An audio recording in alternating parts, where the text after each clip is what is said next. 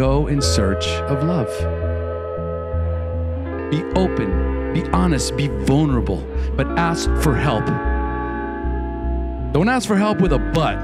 I need help, but. Ask for help, real help. But the first thing you got to do is you got to let go.